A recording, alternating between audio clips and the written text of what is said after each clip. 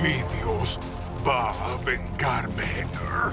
A la mierda con Dios.